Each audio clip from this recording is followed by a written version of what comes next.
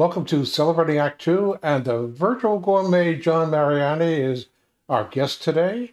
How are you doing, John?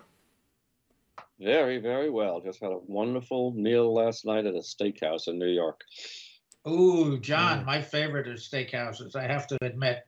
Uh, in a in a recent uh, video, you were mentioning people uh, people seem to love Italian food. For me, it's a steakhouse, and I know being a New Yorker, I haven't been there for many, many years, but I remember in New York, Manhattan, filled filled with steakhouses. Yeah.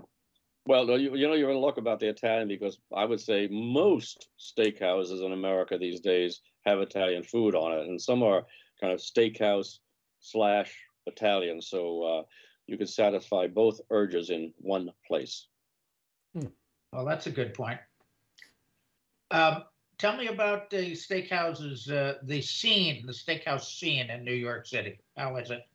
Well, first, let me state that as an American, um, I think that the one thing that Americans do, well, almost obviously, better than everybody else is a steakhouse. Uh, we kind of pioneered what it, it should be and could be, whereas even if you go to London where they have great beef, um, it's grass fed beef, it's not corn fed beef. Same goes for France, same goes for Italy.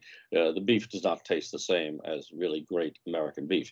Having said that, um, back in the speakeasy days, even, and uh, certainly after the war, we had in New York um, Peter Luger's in Brooklyn, Gallagher's in the theater district, Palm, which is where all the journalists used to go under the Third Avenue L, uh, Cella, a whole whole bunch of them, which were kind of I wouldn't say rowdy places, but they were manly men places where you would certainly bring a woman. It wasn't that the women were disdained at all. They uh, brightened the room, in fact, and they each had their own uh, ambience. The Palm had had all these caricatures on the wall, so forth. all of those steakhouses bought their meat from the 14th Street meat markets, which used to line that street over on the west side. They were USDA prime, stamped, dry aged beef. It was extraordinary. Absolutely. I mean, I, as a young kid, I thought this is what steak tastes like because it, I didn't have any other thing to judge it by. Well, I learned later on that in other steakhouses in other parts of the country, they weren't using uh, USDA prime, or they were using it of the caliber that was obtainable in New York on 14th Street. And what happened was, as steakhouses proliferated in the United States in the 1990s uh, and since then, they all wanted high quality steak. Well, you cannot increase the quantity of USDA prime. You just don't say, you know, send in another steer, that they're going to butcher it as its prime. Um, that is, in fact, a program that the USDA runs voluntarily um, for steak uh, purveyors, no, not steakhouse purveyors, but for the meat industry. Uh, they will ask an inspector to come and say, which of these, depending upon the marbling, intramuscular marbling, is prime, has more fat, and perfectly throughout. Then choice, which is the next down. Top choice is very, very good. And then you get down from there to universal and hospital and airline grades, you know. So when this proliferation took place in the 1990s across, and the chains, including Palm, including uh, Chris and Morton's and Smith Wollensky and a slew of others, Capital Grille, when they came on the scene, well, you obviously can't have hundreds of thousands of more steaks of that quality coming in every week. And we are talking hundreds of thousands because the typical steakhouse is probably going to serve, I don't know, two, 3,000 steaks a, a week. You can't get that quality. Also, the, the 14th Street meat market uh, just declined, went out of business. Now there's a bunch of crummy boutiques there. It used to be very high end boutiques and that was a new neighborhood of burgeoning. It was gentrified, and what used to be just a bunch of trucks lined up and putting into these coal storage locker, those days are gone. Okay, completely gone. So the amount of that quality beef is simply not available. So when I turned to the New York Steakhouse, which is what pioneered kind of the look originally was store sawdust floors and so forth, and uh, jackets and little bow ties on the uh, on the uh, waiters and so forth. So forth. Um, when that was that was pioneered back in the 40s and 50s, and, and everybody copied it. Now um, there are many many glamorous, uh, elegant steakhouses all over.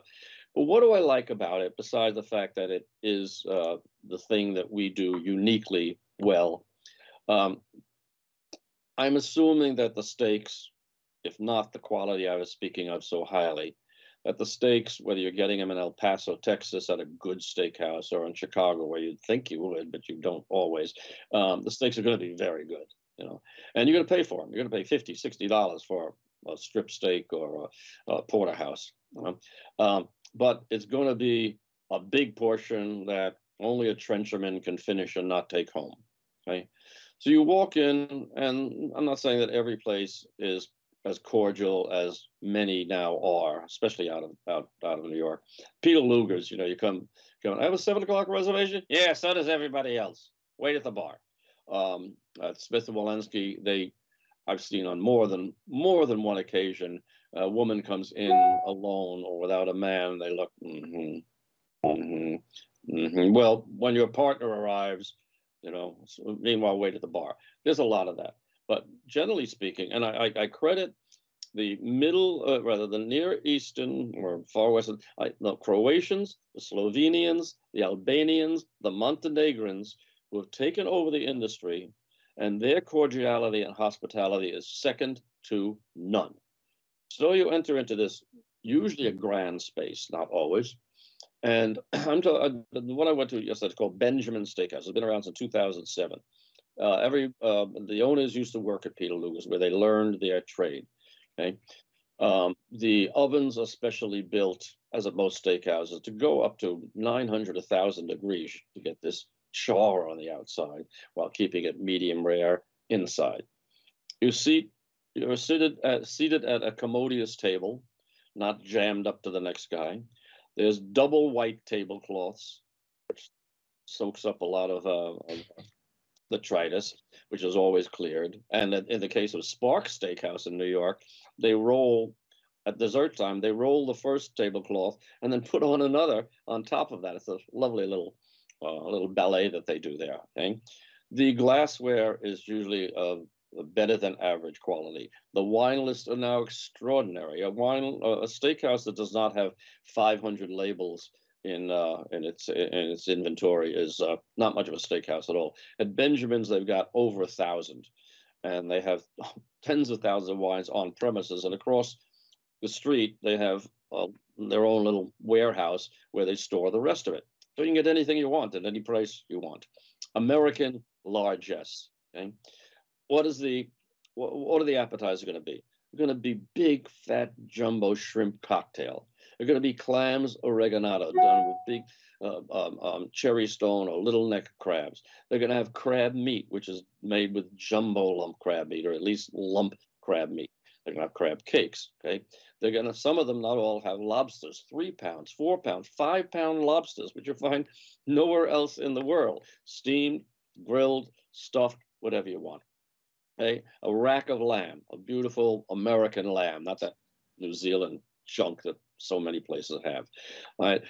um, so now you're set, and then there's the side dishes mashed potatoes crammed with butter, onion rings, tall as this, a whole stack of them, crisp, but when you bite in, you taste the onion.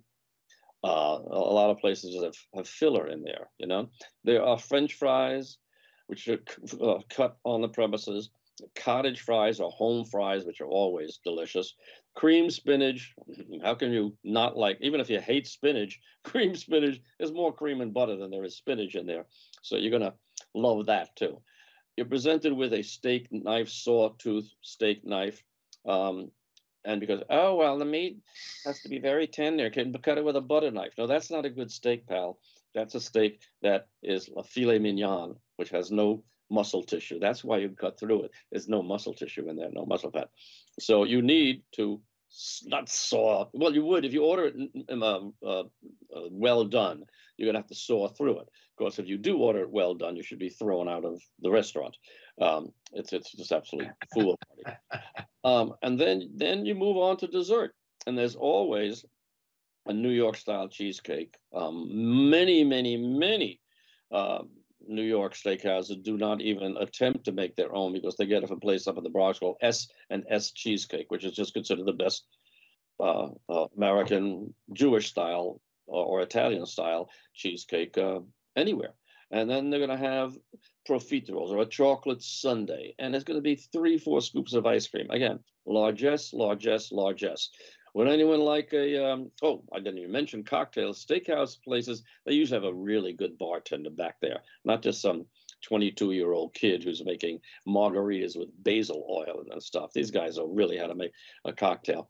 Um, and then you get the bill, and your heart faints a little, but you can't say you didn't have a wonderful meal and a wonderful evening, and you got exactly what you wanted. And if you come back next week or next month guarantee it's going to be the same, which is why they're e- so easy to recommend if they've been around for a while. Um, that they're always going to be the same five years from now, ten years from now, and uh, so yeah, I, I salute the um, the New York Steakhouse as a great institution. Um, the media, like the New York Times and a few others, Los Angeles Times, barely ever cover them because but it's always the same menu. It's always the home fries and the and the steak and the fatou, and so it's always the same menu. They're not all the same. They're, they're never all the same. Some do some things better than others. The soups, lobster bisque, uh, barley soup.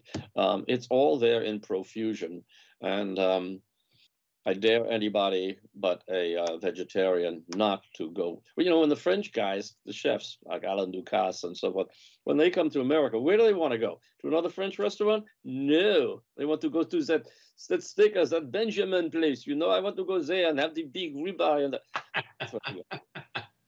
All right, John. When I come to New York again, which I hope will be soon, I oh, want I... you to take me to Benjamin's. I certainly will. For more on Celebrating Act Two, visit our webpage, follow us on Facebook, subscribe to us on YouTube, and tell your friends. Celebrating Act Two is the user manual for the second half of your life.